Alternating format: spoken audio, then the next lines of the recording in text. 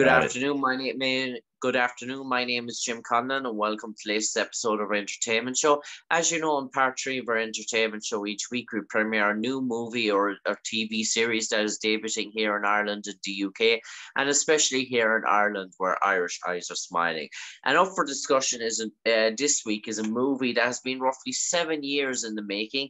It first began uh, filming back in 2016, and it was due to be released a year later in 2017. It was filmed in Tuscany, uh, Rome, Italy, but for uh, various uh, reasons and various uh, things that came a cropper, the movie has been pushed back for roughly around seven years. But finally, after all this time, it's making its much wanted uh, release uh, this next week uh, all, all, across cinemas here in Ireland.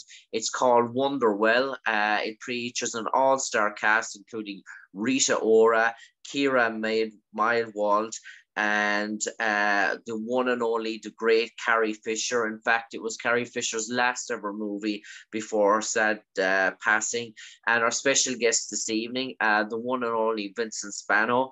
Uh, Vincent uh, has been, uh, what I say, a movie ambassador throughout the decades in terms of TVs and series. From his very first movie back in 1979, uh, where, uh, the movie called Over the Edge, where he played Mark uh, throughout over 30, 40 years in the industry. He's played numerous ty- types of roles in certain sort of movies and TV series uh, throughout the decades. And uh, Vincent, uh, Wonderwell, before we came on air, you said you're excited uh, about its release after seven years in the sort of making. Uh, did you think at one stage that it mightn't come to our cinema screens? I think after seven years, you start to wonder, are they ever going to figure this out? Now, you think about how many possible uh, channels there are in which to, to distribute something now, especially with the streaming market. So I figured eventually this is going to happen. And I'm very happy to hear they finally figured it out. You know, it also was, I think, a very visual effects heavy movie. And Vlad, the director, is a perfectionist. And I'm sure he just wanted to make sure he just got it right. Uh, you know, I don't know, you know, I'm not involved on the filmmaking side. I was just, you know, in, in front of the camera when we did it in Italy. But I think uh, it's a combination of all those three things. And can you remember, Vincent, going back in terms of how you got involved in the project? Was it the the original sort of talent agent sort of role? Did someone reach out for you in terms of your character, Franco, or did you happen to be in Italy at the time in terms of how did it come about? Did you got involved in this project? Well, I got involved because of my dear old friend, Fred Roos. We've been working together since the literally the early 80s when he cast me in The Black Stallion Returns. And then, of course, I did Rumble Fish for him. And Fred and I have kept in touch ever since. We've gotten close on some films that I was supposed to direct, actually, or that I would even come with him, uh, along with him as a producer on. So, Fred and I have always been close. I consider him kind of like a, a cinema uncle in a way. And uh, it was Fred who called me and he told me about this project and he said you got to read the script it was a it was a monday or a tuesday and i literally read the script that evening that afternoon and then i was on a plane on thursday to italy for nine weeks wow. Wow. it was a very quick turnaround i don't know what happened excuse me i don't know what happened if they had other ideas and they didn't work out.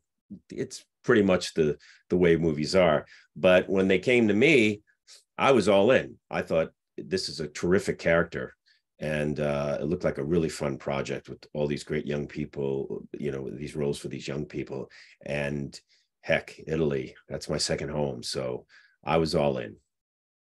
Yeah, and you mentioned that that sort of two day uh, turnaround before accepting the role, and then two days later you're in Rome, uh, Rome, Italy. And how long did you spend in Rome? Were you good six to eight weeks in Rome? And was it sort of hectic? Was there uh, as a cast did you sort of bond fairly sort of closely? Obviously, you the musical talents of Rita Ora there as well. Was she there for those whole weeks uh, there with you as well? Well, if you ask the cast, uh, you know, uh, Bash, Nell, uh, Nico, Kiera, Rita, they know that I was the karaoke guy when we okay. made the movie because I loved to to bring everybody together when we could on the weekends and just have them have fun and sing. And I love to sing. And so I, in all sorts of places, I think over the course of the film, I threw six separate karaoke parties. That includes two locations in Tuscany. Uh, well, I think one was north of Rome, then in Tuscany, then in Rome itself. So a total of six karaoke parties. And finally, we got Rita to come to the last one, and she sung up a storm, and we had such a great time. And it was just for us, it was just private. Yeah, and is there any sort of duet or hidden video going uh, going through the rounds of uh, a duet between Vincent Spano and Rita Ora that might uh, appear later on in the years in terms of uh, a cover version? No, I think Rita and I didn't actually do a duet together. She just got up and killed it, and I think she also sang with uh, one of the one of the other females. They might have done a duet but yeah everybody's got little videos from their cameras of the time. There's all sorts of stuff. And you know seven years is a long time. Very young people. I mean rita was what in her mid 20s then. Now she's a woman in her early 30s i mean she's a woman now you know? And the kids were all so young. They're all older now. They all look different. They're all you know in a whole other time in their lives you know? But back then everybody was young and we were just having a great time. So we we got very close. We even had a WhatsApp uh, group, and everybody was always updating everybody about what's going on in their lives and what was happening. It was one of those really uh, very bonding experiences. And for me, being older and coming in with all these young people, I just love young people. I love being around them, hearing their you know their view of the world and watching their amazing uh, appreciation and enthusiasm about things, especially on this film. They they were really loving this film and this and this experience of working together. And so I came in a little late. Like I said, I was cast at the last minute. I had to hop on a plane. So they had already started getting to know each other. I can't remember if they had shot anything yet. I think it was all pre production, but they had been there a while getting to know each other. And so I arrived in the middle of them already having a, a bonding. And then they welcomed me in. You know the older guy came in and i think it was the karaoke parties that really put the put the uh you know the lid on it whereas like okay this guy's one of us. He's he's here to to have fun with us. And Vincent, when you heard Carrie Fisher, the legend that was Carrie Fisher, was going to be involved in that project, did that almost sell it for you as well? I don't think I knew Carrie was doing it when I got the part. I just went based on the script and my part. It was a treat to hear that Carrie was doing it, obviously. And she hung out with us too. Now, Carrie was a an October birthday, a Libra, like me. And so when we got there, uh, my birthday was shortly, I'm October 18th. I can't remember what day Carrie's was, but we I think it might have been after mine, uh, but we had a party. We had a party for me, karaoke. I had a karaoke party for me. That was the first one. Then we had a karaoke party for. Well, actually, no, we had. It wasn't karaoke, but we just we all got together and celebrated Carrie's birthday, and it gave us a chance to get to know her more and everything. Remember, I I in the film I don't have any scenes with Carrie. Pretty much only the little girl does. You know, uh Kiera. And Vincent was Uh, was carrying good health uh, throughout that movie? Obviously, she passed away six weeks afterwards. But from the time you were initially, was she in good health? Was she vibrant? Was she full of life? Uh, was there no signs that her health was fading? Zero. She was absolutely in great spirits. Her health was perfect. Uh, she and I, we just got on really well. I don't know. She kind of reminded me, she just had that free spirit and that, you know, um, really centered strength uh, that it reminded me of my mom. So we got really close. And I remember, you know, she'd have Gary with her, her dog. That was like, you know, it was always Carrie and Gary. And I remember we were staying in one of the one of the hotels up in Tuscany, and it really wasn't a hotel. It was it was like a 500 year old palace that had been, you know, turned into this hotel, and it looked like a museum. You know, we were staying in like this museum, and Carrie was having trouble with Gary, like wandering all over the place and uh, you know relieving himself in areas around the hotel. So when I was she was going to stay there for a little while longer to sh- shoot, and I was done. I was going back to Rome.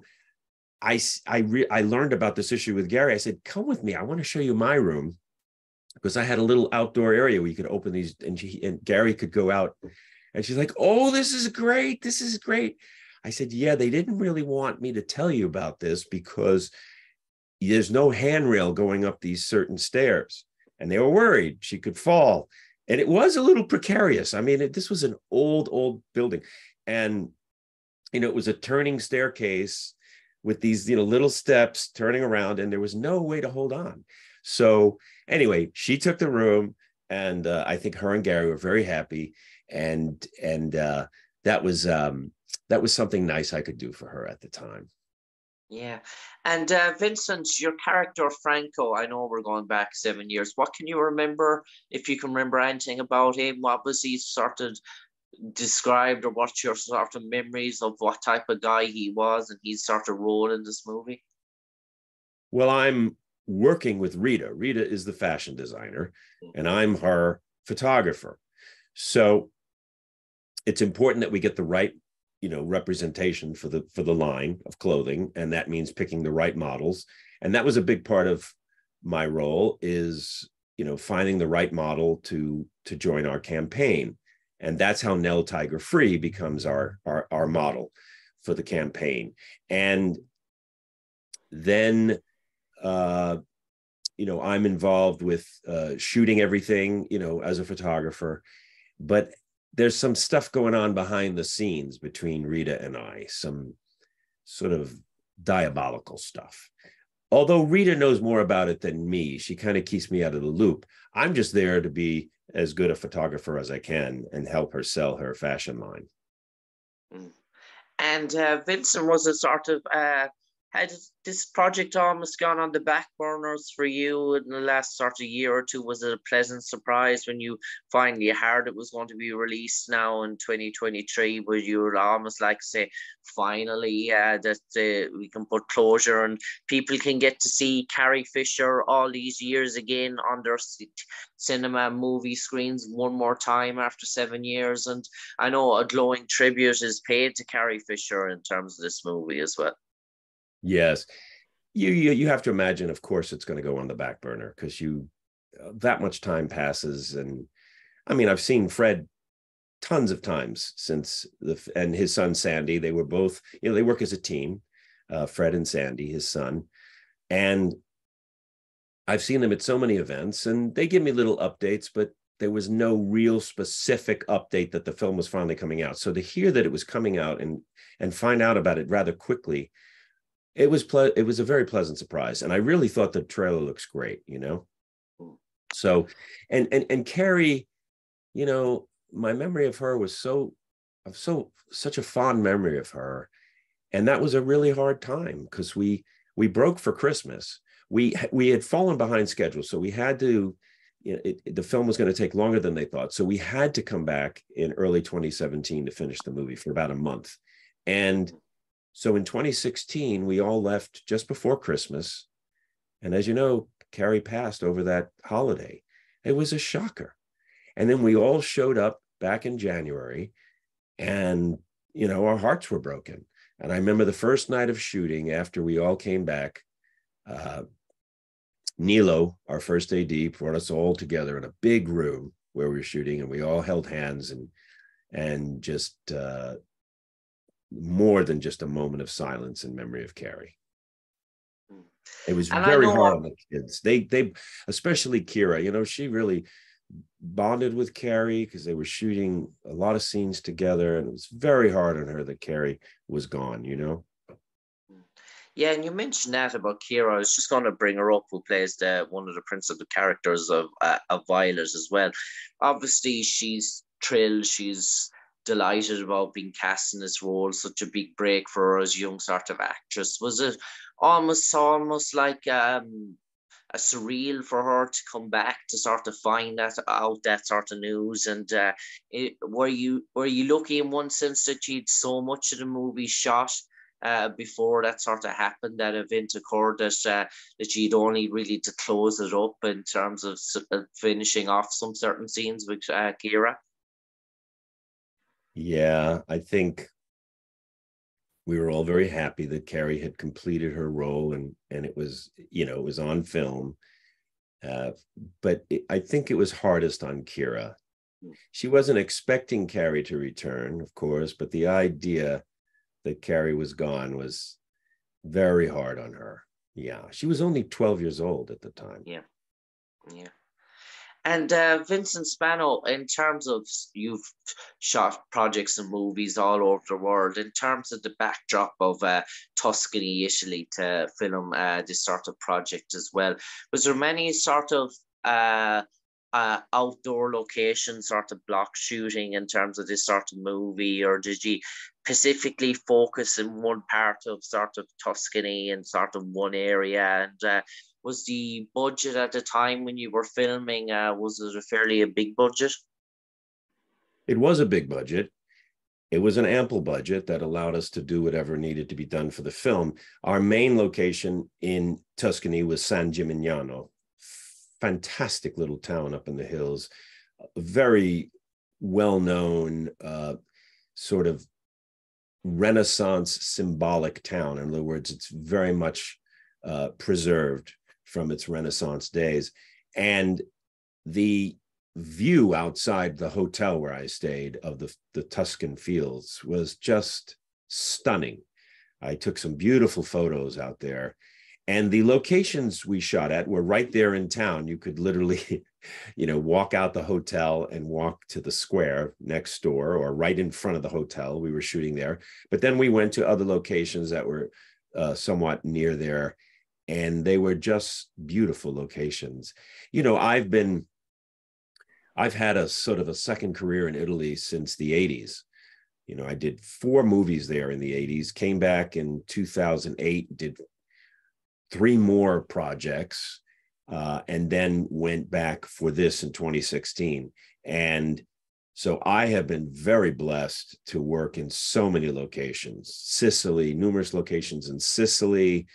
I've worked up in Pisa, Tirrenia, Massa Carrara, um, Florence, uh, Tuscany, uh, and especially, of course, Rome and outside of Rome and at Cinecittà. So for me, doing the film in Italy and in Rome was like going back, going back to a place where I had many, many great experiences.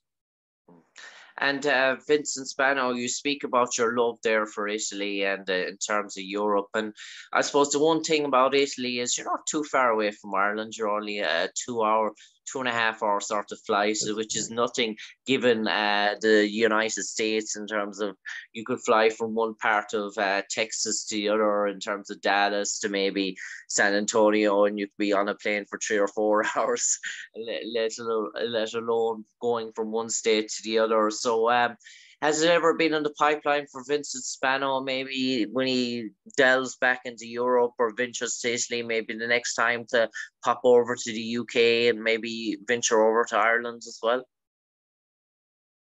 Absolutely. Now, I must admit that I've gotten a little spoiled being in the film industry.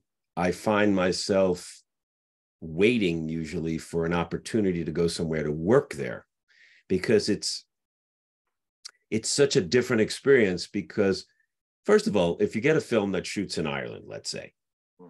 you get flown there you get put up you get fed and you get to have an experience there that brings you very deep into the into the place and the people because you'd probably stay a, a, while could be a month two months and you go to all these tremendous locations you meet all these people there's there are local people who work on the film and and then offset you you meet people and so i guess i I put off just plain travel sometimes to wait for that opportunity to go work somewhere on a film or create my own project, find my own project and bring it there as a location. So that is the only reason I haven't gone to Ireland. I also haven't been to Asia yet. I haven't been to Australia.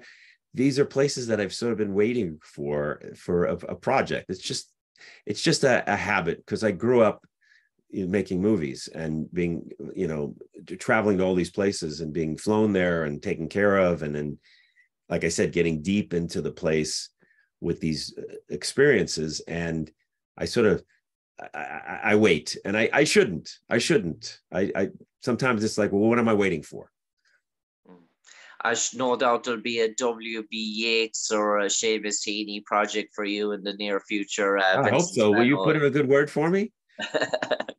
no Listen, I'd love to come over there and work with Irish filmmakers. I mean, that would be awesome. You know, I worked with the great Peter O'Toole. I don't know if you knew I did a film called oh, Creator. Yeah. Peter, and Peter. Uh, it was one of the great experiences. And Peter would tell me his stories of growing up there.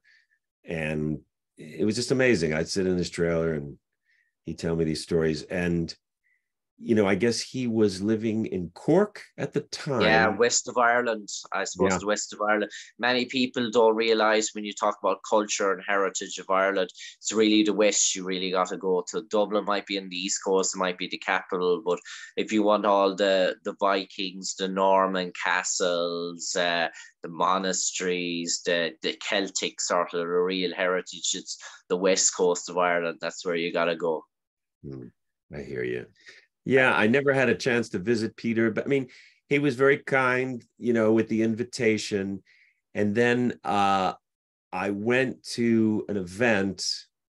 You know, sometimes somebody might say, sure, sure, you know, but you're not really sure if when they go off to their home, they want their privacy and their and to be let be. And I saw him uh, do, I think, Pygmalion on Broadway. And I just double checked in. I said, Hey, Peter, what do you are you going to be spending any time in Cork? And he's like, no, I'm going to be here. I'm very busy. There's a lot of projects and stuff. And I didn't press the issue, but there was sort of a floating invitation that I never took advantage of because I just, I just could tell it, it wasn't uh, appropriate. Uh, Vincent Spano, I'm afraid time has nearly caught up with us. So, for the final 30 seconds, you might enlighten all our audience, all our viewers, why they should go out in mass to watch Wonderwell on their cinemas and what's in store for them. I think it's a terrific. It's it's it's sort of there's a mythology to it. It's it's like a fairy tale, and there's all these terrific young actors in it.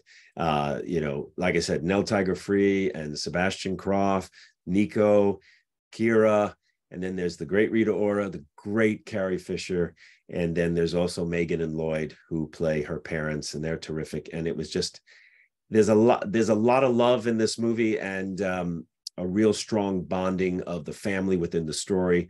And I'd say it's a terrific family film and excellent for the for the family and for the kids to go see on that note, uh, Vincent Spano, for me, Jim Conlan, a pleasure talking to you on the airways this evening as we look in joyful anticipation of the release of Wonderwell in nationwide in cinemas throughout Ireland. Uh, Vincent Spano plays the role of uh, Franco alongside the great Carrie Fisher, Rita Ora, and Kiera Milward. Uh, do check it out, Wonderwell, seven years in the making, the final film of Carrie Fisher's iconic uh, career, and obviously the, the iconic career career Vincent Spano is still very much going on from uh, strength to strength. But for the moment, from me, Jim Conlan, to you, Vincent Spano, stay safe, take care, God bless. Thank you. Same to you, Jim.